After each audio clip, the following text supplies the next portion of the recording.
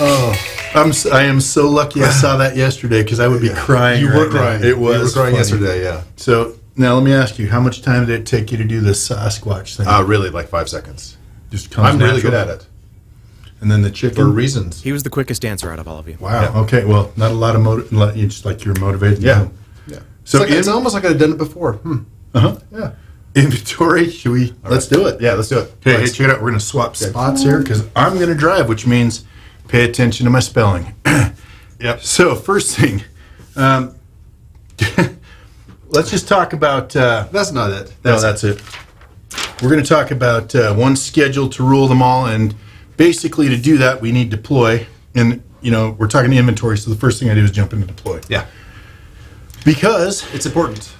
so let's say I'm going to make a schedule, a weekly schedule, or a monthly schedule. I'm just going to go to schedules, and you'll understand why this is an inventory thing. Yeah. We're going to new schedule. We're going to call this weekly. Yeah, right out the gate. Weekly. it. All love we're it. just living with it. All right. Love it. So, So weekly. Oops. Now I can't even click in the right Linux place. administrator that can't type. That's awesome. I represent that statement. So we'll kick this off on Friday midday. Why? Because I hate everybody. Yep. because they make fun of me. But targets, I'm just going to link to PDQ inventory. We're going to grab all the computers because you know what? There may be a computer out there that needs all the packages I'm going to grab. So we're going to add packages, uh, 7-zip, Chrome, maybe Firefox. You know? Yeah. All right. So I want to get this updated.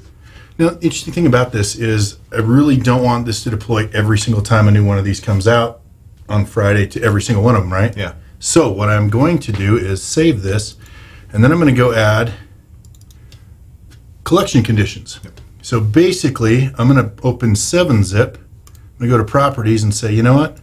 I only want this package, which is part of that schedule, to deploy to people who have, who are a member of utilities. So there we go, 7-zip, old And for those of you watching, you can also use the filter to do that.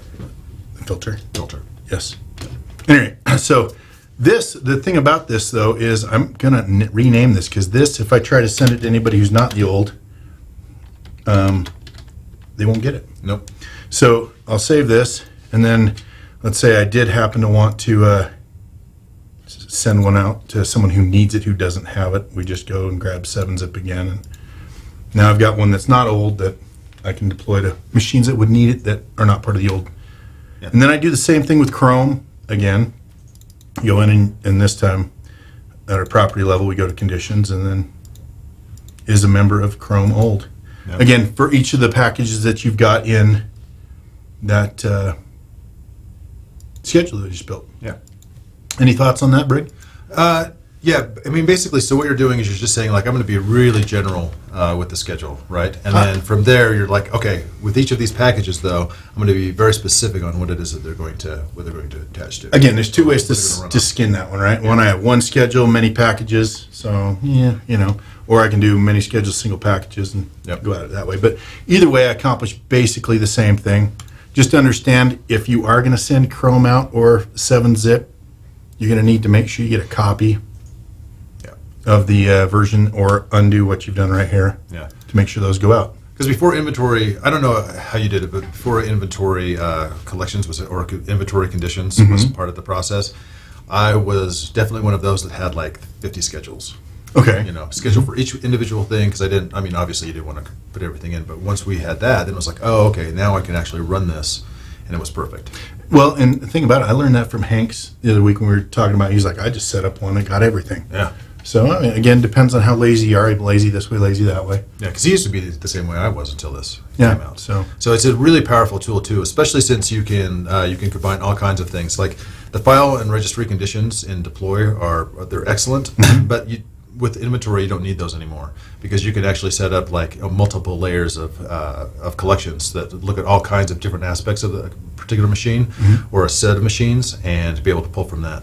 And it's, powerful. Takeaway from this one is build a collection, do your filtering, and use those collections in your packages. Yeah, exactly. All right. All right. You want let, let's Let's dosey do.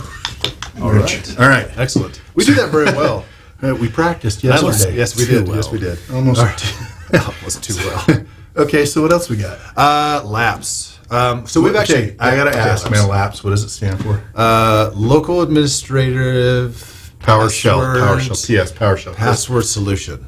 Is Uh, it local Colby? administrator password solution? Is that correct, Colby? Yes. All right. One word answer. Yeah. Yeah. Yes. Okay. Uh, we've actually done uh, a webcast on this uh, Mm-hmm. about laps. So, and that's in the bonus content. But I just kind of want to go over like uh, sort of one of the co- very obviously very cool things. We've also done multiple domains as well, so we're going to kind of cover both at the same time. As you can see here, what we have, we have all of these little AA Labs computers. Now, this is a discrete domain, completely different. The only connection that this particular domain has with uh, the actual organization, or at least with us here, is a networking network route. That's it. That's the only thing. So that's uh, what we've done here is we've set up uh, laps. You can see down here. Let me just show you this. Set up laps. So I'm going to show you very simply preferences. Okay, so why would you set up all of these? I mean, for people who have never done this. Oh, multiple domains. Okay. So yeah, most people. I mean, so you can have like a you can have a forest with multiple domains, and you can also have like discrete domains. Like say like you've got just lab machines that are in a, their own domain. Well, this allows you to go ahead and add those machines into into your uh, inventory and deploy. So you've got one spot for all of that. Exactly. Okay. Yep. So, and you're even though you're technically inventorying these computers, Laps is a much better way of doing it because it's much more secure. And so, Okay. as we're moving towards more security, that way you don't need to actually have to use like a local administrative uh, password or like use the administrator account. Even though Laps will use that uh, by default, you always want to create your own. And Yeah. you could those that's all covered in the end of the videos. But as you can see here, we've got these Laps, uh, the users in this uh, Active Directory here, and in the credentials, we've just set up a Laps. So it's very easy. I can add Laps, and then this is the Laps user. Oh yeah, my typing. Yeah, here we go. Let's see if you can type better than week ali. Ah, I did it. You did. Yep, there you go. Yep, and then And he's actually using more fingers than I do, which ain't tough. that's true. now, now I'm lost. Okay, just- Now, now you're lost. And then derailed his train. All right, and so that's just uh, that's just the this is a, a user that I'm putting in now that can actually read Laps passwords. So it has to be a member of when you're setting up Laps, set up users that can read Laps passwords, and that's what that is. Password. Password one. One spelled. One, two, three, four. There you go. All right, and then we're just going to test this against a machine. So yep, D8 Lab 02. So this is something that's in that uh, A Labs domain. Testing. Did I do something bad? Did you? Did I? I derailed you with that password. One two three. That's thing what I it bet I did, Huh? Yep, So that's okay. that's okay as we sit all right. here and watch it. Just watch Fail. it. Oh, fine. I'll just cancel. Because guess what? It's just like on the cooking show. I've already got one done. Yeah. Yeah. Look at Gotta that. turn around, pull it out of the oven, check it out. Look at that. It's all hot and bubbly, fresh for you. So anyway, this one does actually work. So No. all right. Actually, because I tell because we actually scan. Some I know. Stuff. Yeah. I can type. So fifty percent of the time I'm right. Sixty percent of the time you can type right every, time. all right. So.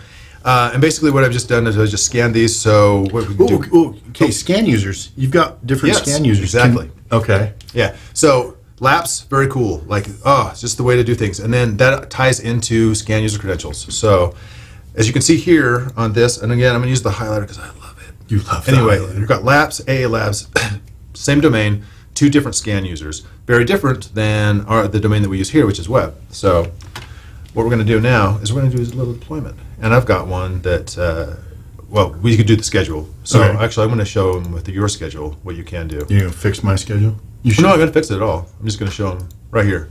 Use PDQ inventory scan user credentials. Actually, that is when is available. fixing my schedule. This is like the Okay, so Yeah. basically, what you just did is say, you know, it doesn't have to be these credentials are Yeah. here. Use what's basically stored in inventory to Exactly. access those machines. Yep. So deploy does not need to know of these other domains at all. It doesn't need to know anything about them because other than a network route, the only thing that it really needs to know is that inventory has got it covered, and that's what the scan user credentials will do. So that's basically it. And then you just you can now that will actually deploy to all the computers. So it before, if, if we had to do it before, we'd have to have multiple schedules mm-hmm. for multiple domains. But because we're using the credentials and inventory, one schedule Yep. to rule them all. So yeah, and because so in inventory when we had set that up originally, and when Lex was running this uh, this schedule, and he chose all computers from inventory, if we had actually run that, everything that was in the aalabs.org domain would have actually failed. It would have just improper or wrong username or password. But by setting this here to the use uh, scan user credentials, that removes that. So it'll, uh, it'll automatically say like, oh, I'm supposed to use these credentials, this PDQ admin or the Labs admin password for all of those, and it would have succeeded. Absolutely. So it's good stuff. All right. Should we do a I like, question? I like. Let's do a question. Dear Lex and Brig, both PDQ inventory and deploy are heavily dependent upon DNS. In our environment, records are scavenged every seven days. Are there any tricks to getting these clients to update their DNS so that inventory can scan them? We have traveling users that frequently use the VPN and are getting a different address each time they log on. Thanks, Zachary M. Yes, there is a way. Um, uh, we don't have. Um, not, okay, I was going to bring up the DC, but Go for uh, it. I was just going to bring this up. This Okay. is probably a good one here. Right? yeah, there's one of the, yeah. That for your, That one? your laptops. Test multiple username and addresses and Yep. resolution. name resolution. So if it's got multiple addresses in uh, DNS, then that's the first thing that you want to do. doesn't answer the scavenging question No. though, but that does take care of laptops. Yeah, and that's a setting that you can set both in inventory and deploy. Yeah. So you want to do that. Uh, the other thing is if they're getting DHCP leases, and I'm assuming that this is the VPN is. It depends on where it's getting the DHCP from. If you're using uh, external D, if you're using the VPN's DHCP server, you want to use something like an IP helper to go ahead and route your internal DHCP services through that. And the reason why you want to use that is because there's a setting in the actual server. I'm sorry. I was just laughing because you got this all in memory, man. I have to look this up every time, and I love it. I love it. Uh, there's DNS a, yeah, there's a setting. Uh, if you right click on the actual DHCP server itself and go down to properties and then click on the DNS tab, uh, you'll see that there's a setting to uh, always update the client. That's the setting that you want. And we've done a video on that. And there's also a, there's also a KB that's, that's out there on uh, keeping DNS healthy that shows you that setting for DHCP that you want to use. And then that way, what happens is when your computer deregisters and then re-registers again, it will automatically update DNS because uh, the DHCP server now owns that record. So what you want to do, consolidate your DHCP so that your VPN internal networks are the same by using the IP helper. The second thing is to make sure that that setting is done so that uh, DHCP server owns those records.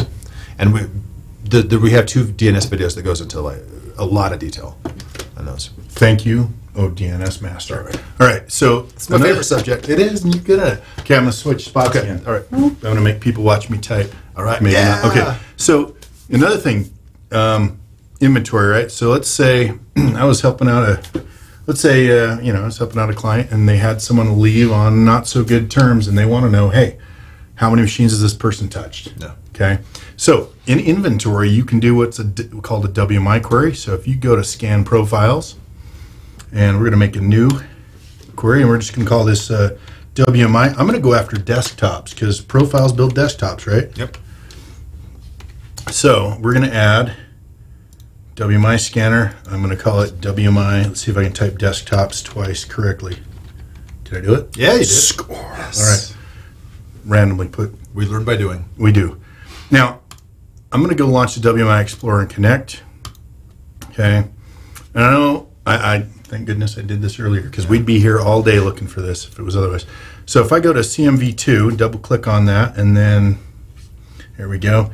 I know because we already did this earlier. It's under desktop, and now normally Colby would be telling me to use the filter. filter. but I like to scroll the mouse wheel. I'm going to grab desktop. Now, I'm going to execute that just to make sure I'm going to get some data back. Yep. It is. So what I will do is copy this, Okay, and that's down there at that query. All right. Control C, yes, under the uh-huh. query, thank you. And I'm going to close that. CIMV2 is where I'm at. I'm going to drop that in there. Give that an OK, and now I have a scanner, and then I'm going to close this out. Now, uh, this one has to be scanned manually because I didn't add a schedule to it. So I'm just going to right click on this, scan collection, WMI. Oh, you, You hit cancel. cancel. Dang I was going to call that out earlier, but All right, I thought maybe you were doing that on purpose. I know. some reason. I kind of suck. It's okay.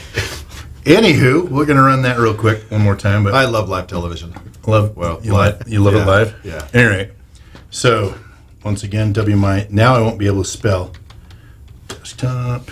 No, you did it. You, it's all right. Close Spelled- enough. It's spelled right. It's spelled right. Leave the capitals out of it. desktop. So you know this is live because I stink at this. You should have that already should be in your Copy paste, right? There it is. Okay. All right. Give it an okay. Saved. All right. Whew. Don't hit cancel. That's what you should learn from that, right?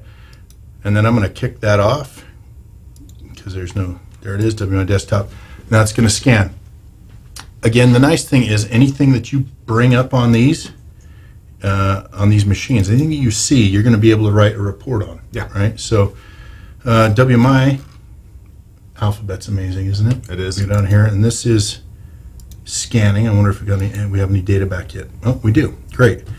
So I'm going to go look for, let's say, the. Uh, hey, check it out, Brig. I'm going to find. I'm to write a report for any machine that Brig has touched.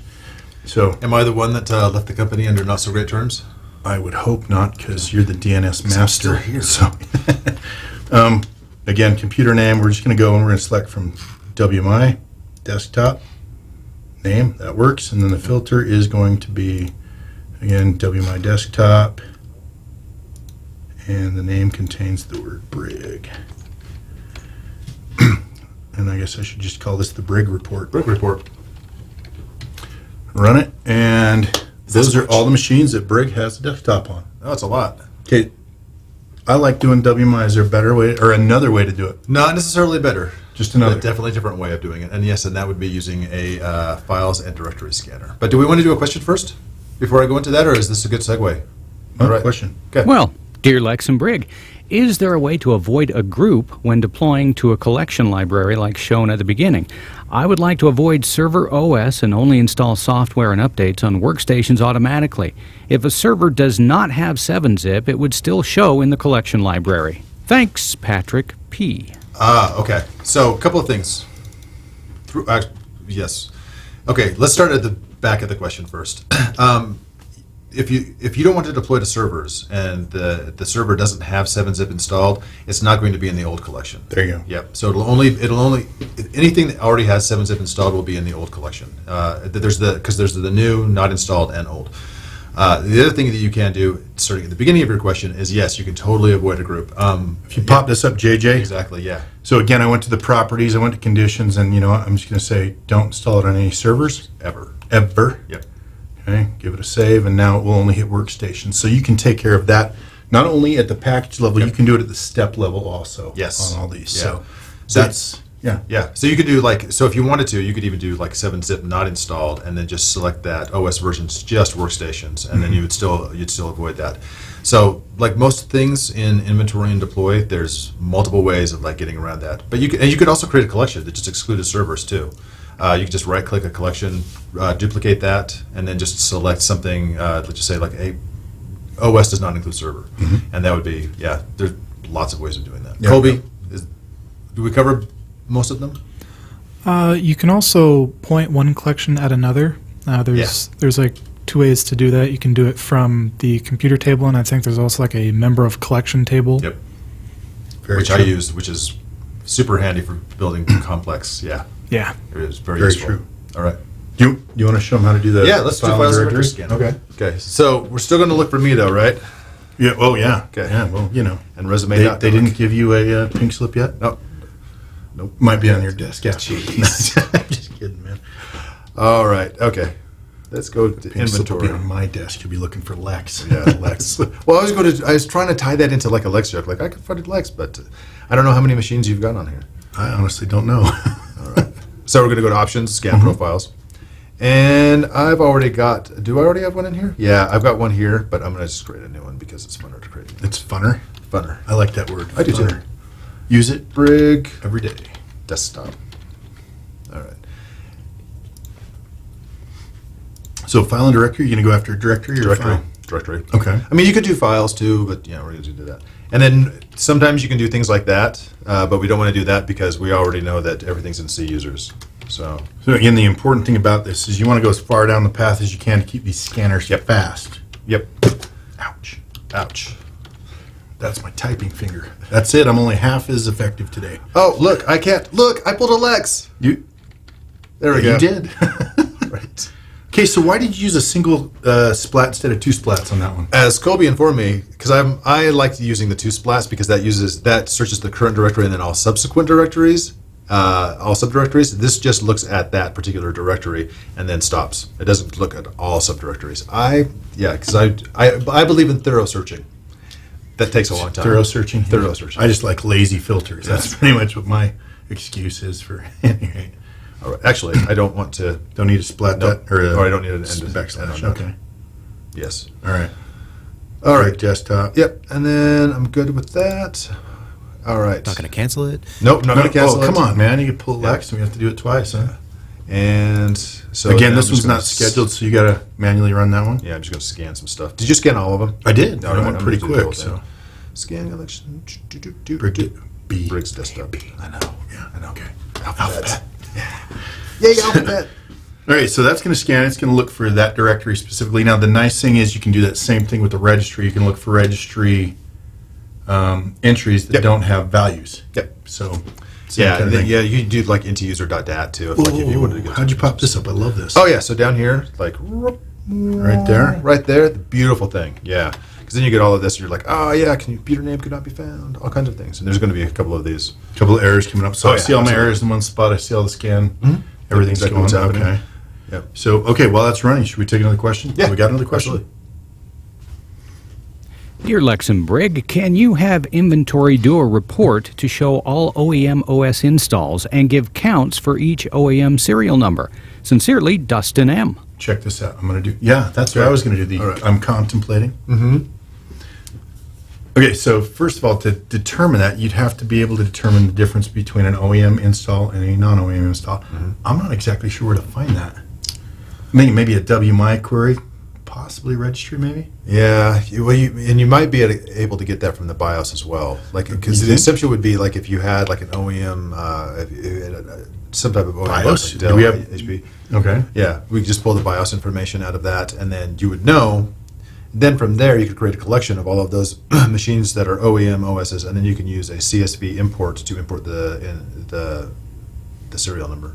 Hmm. Do Colby, it that way. thoughts? I just saw you over there. Colby was like, he got animated for a second. Oh, No, I no, I don't have anything. No, like what he said.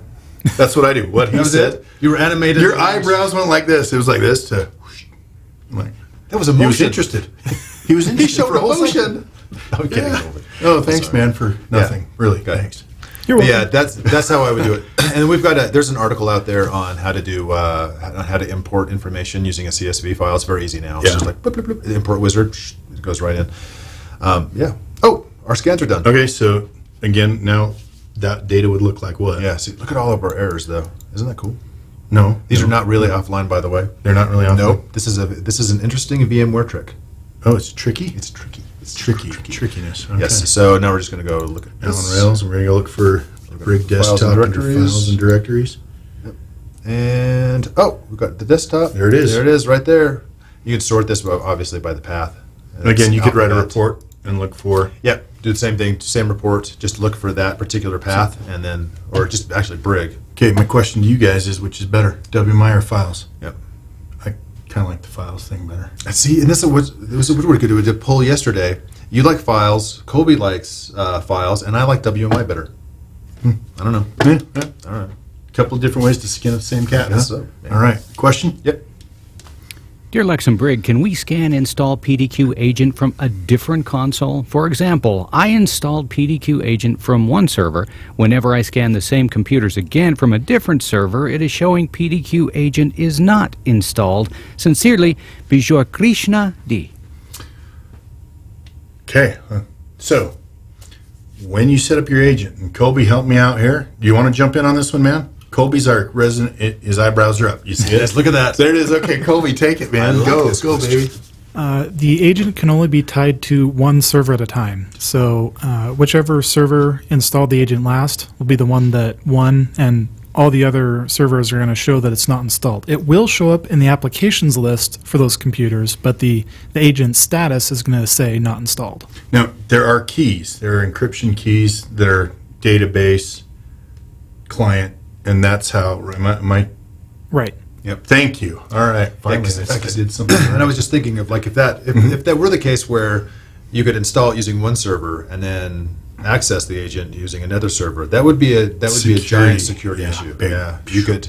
Oh, All of these So- have an agent. Let's if just go you ahead. ever want to have fun, right? So you install the agent, I go right behind you, install the agent. Colby goes behind me. Yep. Last person to do it's the winner at this Yep. point. So Yeah. just be aware that you know agent can talk to one. Yeah. So Okay, good. anything else to add on that one? I'm putting my eyebrows up.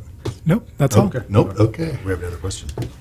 Dear Lex and Brig, can inventory with AD Sync create a report for computers that have been removed from AD in a time frame, say in the last month? Thanks, Patrick P. Ooh. Kate, you would have to do a mixed sync. Yeah, because Okay. you can't delete any machine, so it'd have to be. So you go mix sync. So then ah, it deletes yes. machines out of AD. Uh-huh. The, the quick answer is no, because we don't we don't we don't do historical data. So if a computer No. is removed, if a computer is removed from inventory, then we don't know that it's there. No, no, no. Who- who- so who was we're not, that? We're Was not, that Shane? That was Shane. The disembodied voice of Shane. Wise and powerful. The quick answer is no. I love. It. But if you're doing mixed sync, then those machines would uh, would actually exist. You'd in- see them. You'd see them in here, but they wouldn't exist in Active Directory. So if you did a mixed sync, The question, the, but the question is if they've been removed from AD and you're using AD Sync, then whether you're doing mixed sync or full sync, they've been removed. Uh, therefore, you're not going to be able to, to see them because they're out of the they're out of the database. Right, you would need import only. oh yeah, import only. That's oh, right. okay. Yeah. Mixed sync doesn't delete computers that you added manually. That's right. Yeah. Okay, Full sync import is only, just alright. the full Active Directory Alright. sync. So Yeah. no. No. All right. But unless you were using, kind of. yeah. All right. This first one here. Yeah. Did we? We made that clear as mud, didn't we? Yeah, we sure did. Yeah. Yes. No. Maybe. um, who led us onto this web? Yeah. I was gonna say the two of us at the same time. Oh, Kelly, bad decision. Yep. So, I just wanted Okay, to. so so be import only, no delete. No, no, no delete. could- yeah, if they were set that way, yeah, there is a. It's possible that you could do it. You'd retain them, but how would you tell the difference? Yeah, you'd, it'd have to be over a period of time, and then look at. Yeah, it would be really difficult to do that. Yeah. Yep, to see what's available. Uh, All right. so, Once yeah. again, So, clear as no. mud. Yep. All right. Yeah, we got. Uh, I can do Yeah, a, a quick maintenance thing. Yeah, let's do All a right. maintenance So quick right. maintenance, right? Yep. So first of all, I'm going to build a quick collection because you know I'm the laziest sysadmin out there. You should aspire to be as lazy as me. Yes, I would love to center that. All right. So I'm looking for machines that have uptime, and uptime's in the computer field, that is greater than 14 days. Okay, because you know if you don't reboot your machine, we're just going to call this uptime 14. Uptime greater than 14 you generally start having people calling you things are acting wonky, right? Yep. So we'll save this check. I'm not hitting cancel this time. All right, excellent. All right. So now uptime 14 populates, right? So I am going to go out here and I'm going to build a reboot package. Step's going to be a reboot.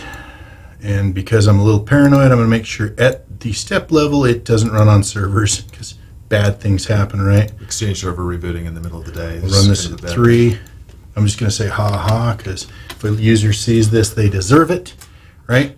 Okay. And the property levels, I'm going to say this only runs on members of, again, just to be safe, uptime greater than 14. Okay.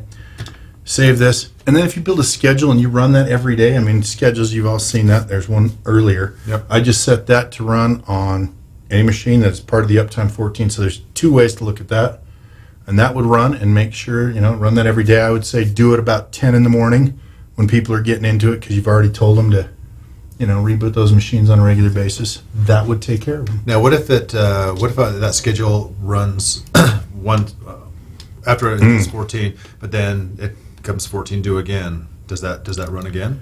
yeah the thing is we do have to thank you for pointing that out we got to check take the check box out of and i'm just going to pop up the schedule that we've got because i didn't even name that but um, under the options tab on your schedule just make sure you take off the stop deploying to targets once they succeed Yep. so that you know another 14 days it'll reboot their machine Yeah, and that's a really powerful.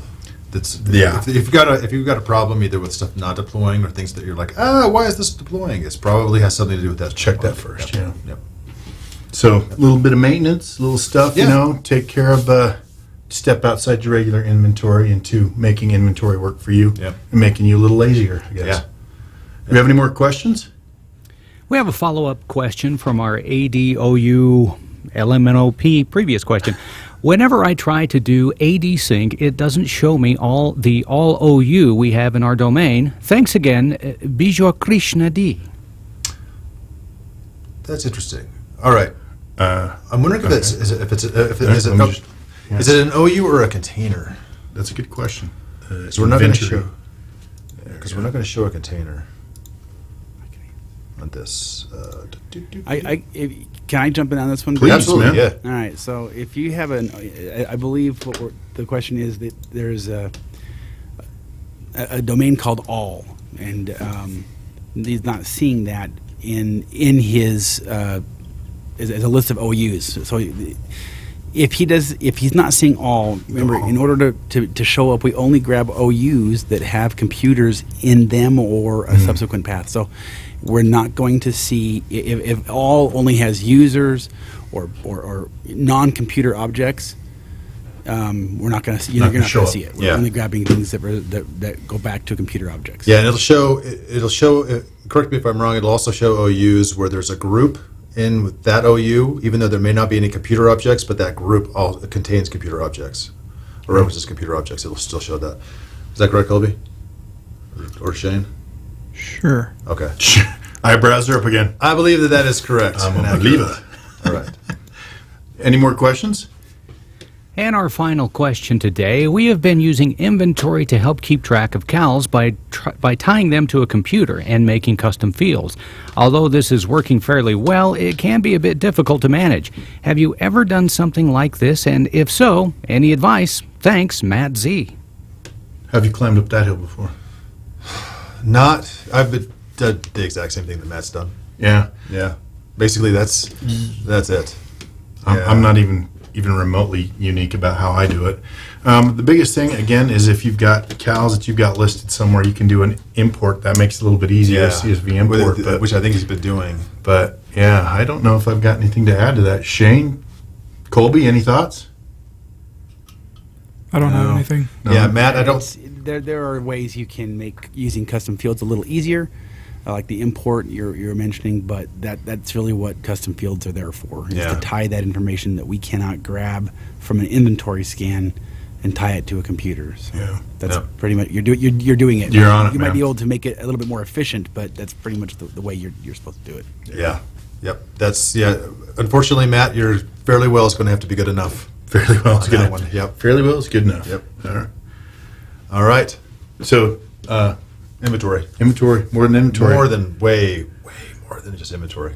I, I want you to teach me those dance moves you were doing earlier. Oh, yeah, the Sasquatch or the chicken? Sasquatch, both, man. All right, I, okay. I love it. I, I got it. Thanks for watching, guys. Thanks. Appreciate it. Thanks for joining our webcast today. Congratulations, Zachary M. and Patrick P., winners of PDQ swag. Send us your info at webcast at pdq.com. If you have any additional questions, don't hesitate to reach out to our support team and our forums. That's why we have them. Thanks again for joining us, and we'll see you back here next week.